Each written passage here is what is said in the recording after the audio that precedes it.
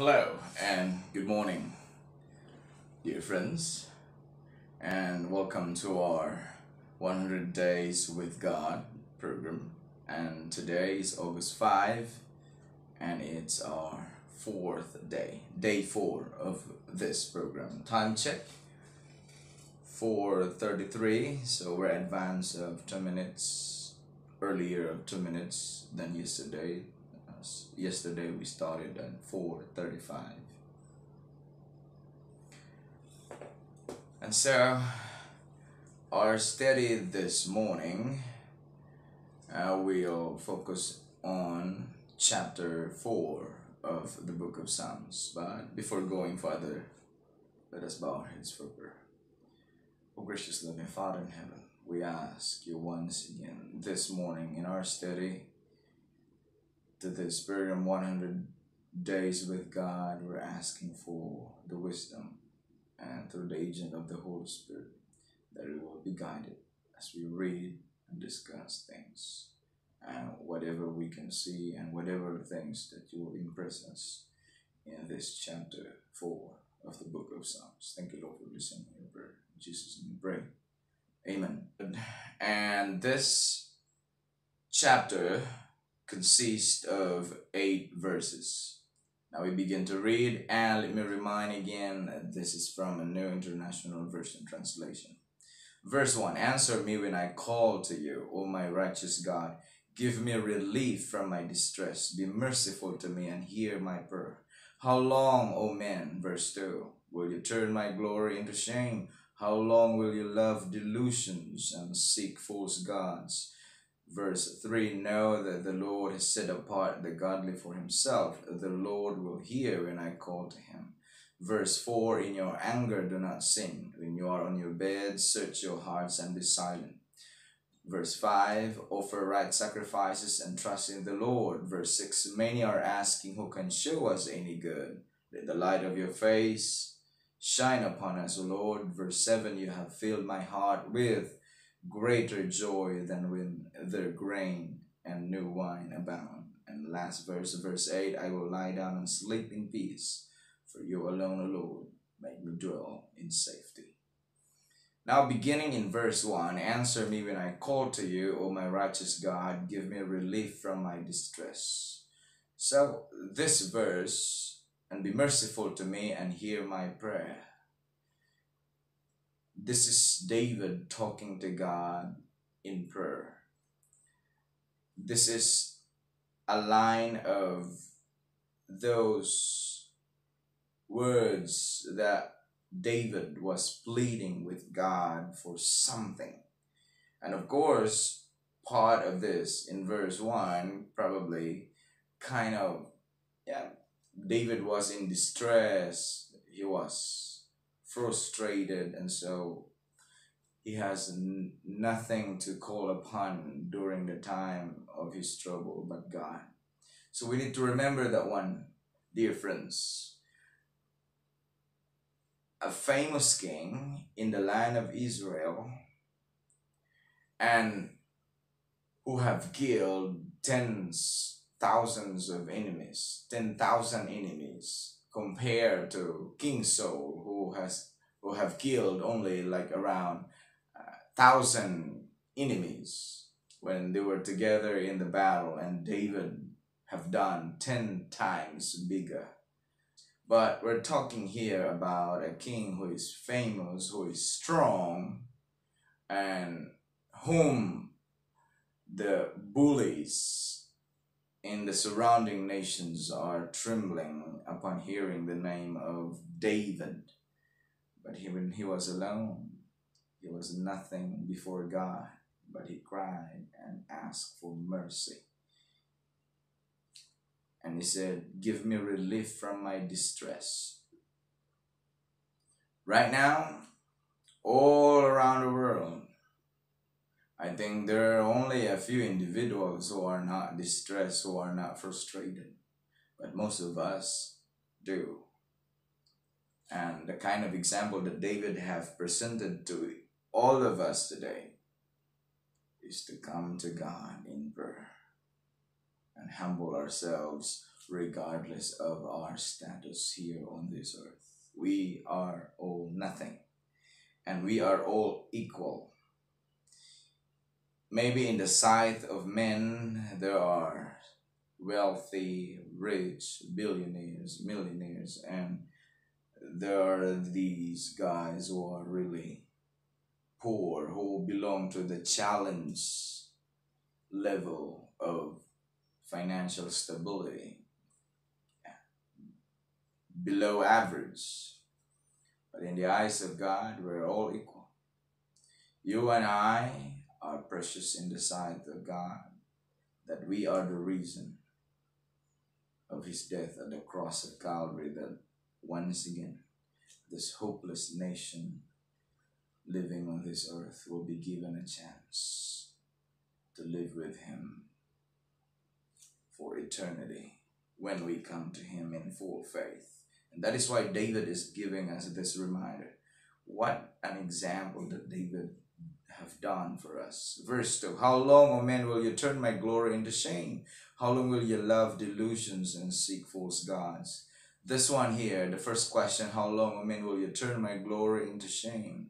So there are people probably in his uh, in, in the courtyards because he was a king. There was probably like people who are plotting against him and probably a continuation of chapter 3 of, of the book of Psalms that we have studied yesterday.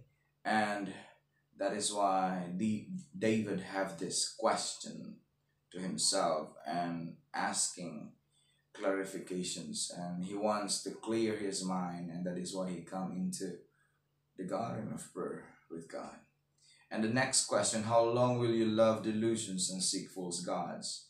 This could have a lot of uh, possibility possibilities. Mm, it might be like people who apostatize before they worship God and now they're worshiping themselves or someone else, money, positions, whatever. Or how long will you love delusions and seek false gods? So this could really describe about someone who apostatized. And David was so worried about that because to him we are a godly nation, Israel.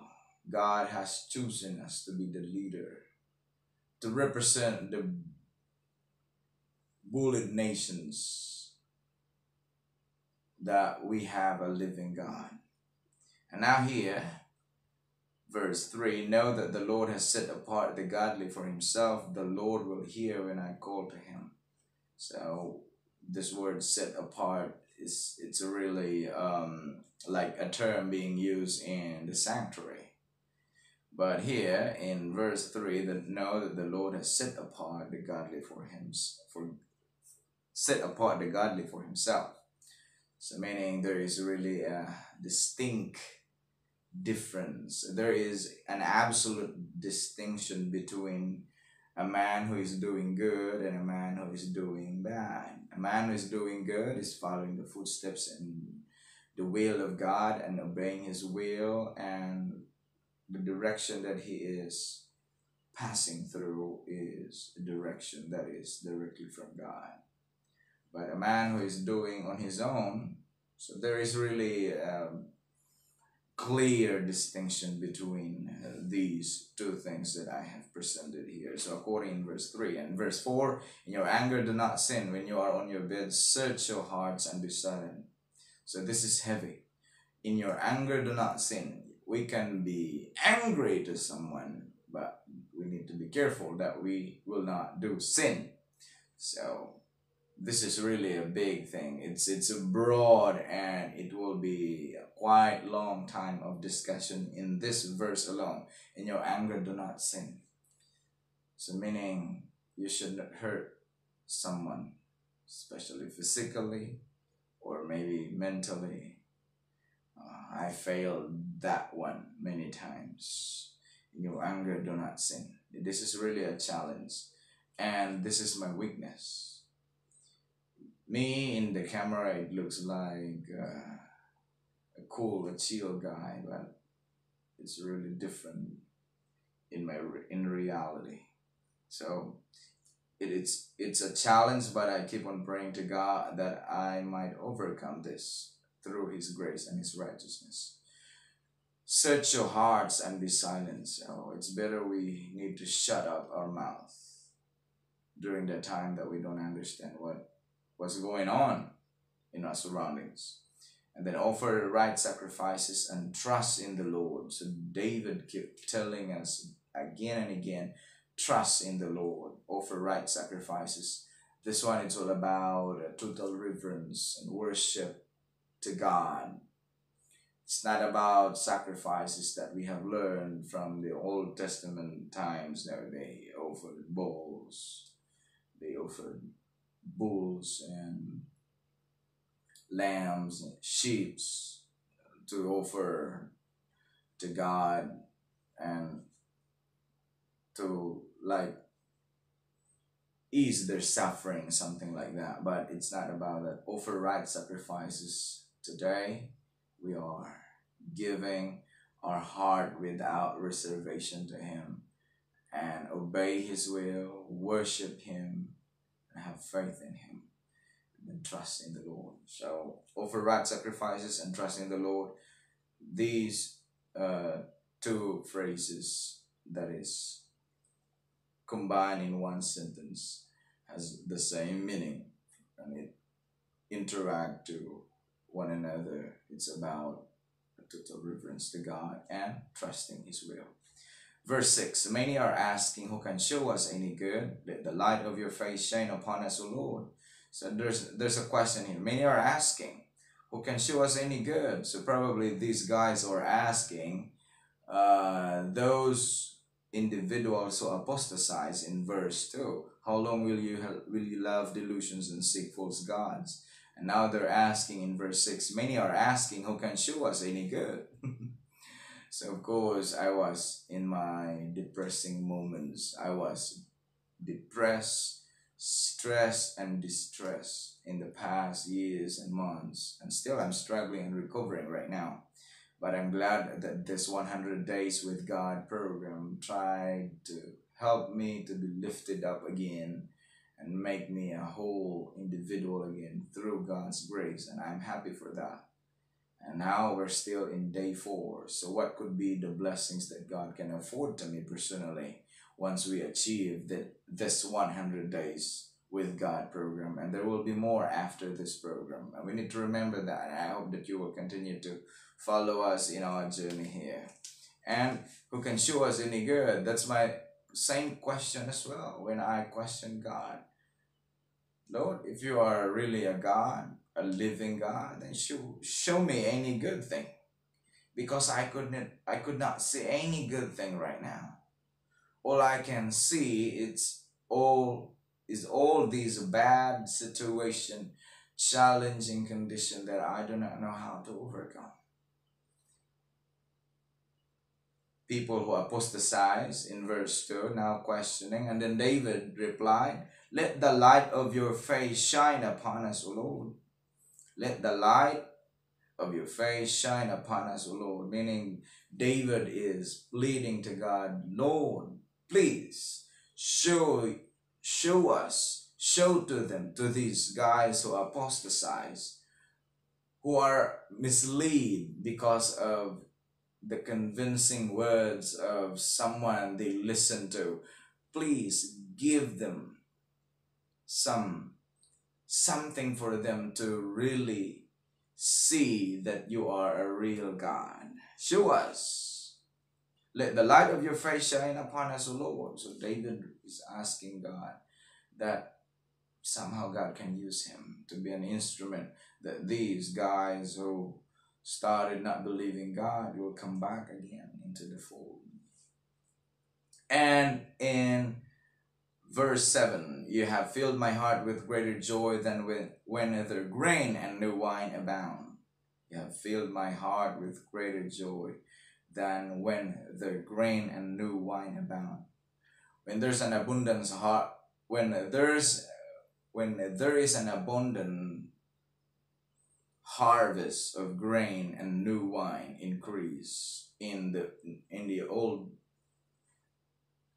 in the ancient of days, then it's it's really people are really feasting. They're really celebrating God's goodness, celebrating everything because new wine increase and the fresh grain harvest just arrived. It's it's this thing to the people in the ancient times during the time of the Israel, during the time of the Israelites when David was a king until after him, when new grain and new wine abound.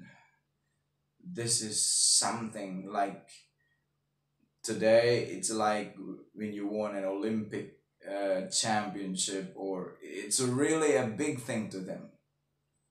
That is why David uses this term, this analogy, their grain and new wine about. But David said, You have filled my heart with greater joy. Just imagine that one. Still, the thing that can give David more joy, greater joy, is to be with God and to be connected with Him. Not the earthly possessions. Verse 8 I will lie down and sleep in peace, for you alone, O Lord, make me dwell in safety. So he ended this chapter 4 with a confirmation that he has nothing to think about he can lie down and sleep in peace because for you alone, O Lord, make me dwell in safety. Still, God provide the deliverance, providing the protection he needs. And how God blessed and guided David all throughout his reign as a king in Israel. David was a king. He was no ordinary man. He was a king. He was not a peasant. He was not like a common man, though he became a soldier prior to his um, calling as a king. But even he was a king, he was still a soldier during a war, a commanding in chief. But we need to remember, YouTube friends, dear friends out there, that even the status of David is really different from us. We're all common people, and him was a king. But it doesn't discuss here about the status. David here came to God in prayer. David here talked to God in prayer, not as a king, but as a sinner. And if we look at it, if God have blessed David, guided David, helped David to be lifted up during his depressing time, depressing moments when he was frustrated, when he was distressed. God delivered him and provided the protection and the peace and comfort he needed. If all these privileges were given to David according to his personal experience, then there is no doubt that God cannot do it to us today. No matter what situation you are in, if David have given us these words, how God have blessed him and guided him and protected him, then that God of David will be the same God who will be with us today in our time of struggles, in our time of our frustrations, in our time of those distressing moments, in our time that we fail, in our time that we get confused, in the time that we doubt His goodness, in the time that we don't understand what's going on in our surroundings, then there is this God of David, who is still going, traveling, guiding, and protecting with us every single day of our lives. But How can we feel His presence? We must have to come into the garden of prayer with no reservation in our hearts, in full faith, and then confess that we are all sinners and that is in need of His grace and His righteousness. And the moment that we are sincere and honest in coming to God in prayer, then in a gradual way, not in a magic, but in a gradual way, God will help us to be strengthened and He will give us thoughts about peace and comfort, thoughts about forgiveness, thoughts about being kind to one another, thoughts about how dependent we are and how totally helpless we are without His guidance and His righteousness. So I hope, brothers and sisters, dear friends, that we all understand something and we all get something from here in this chapter 4 of the book of Psalms. And again, thank you for watching. And before we end this discussion, I may invite you to a prayer.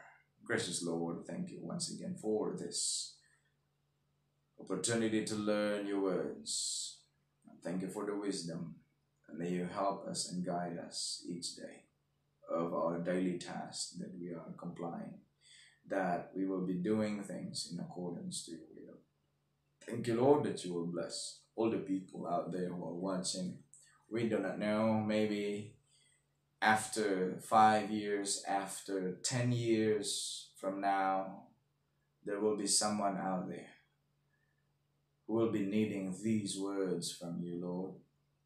And this personal devotional study might be a blessing to him, to her, to all of them out there.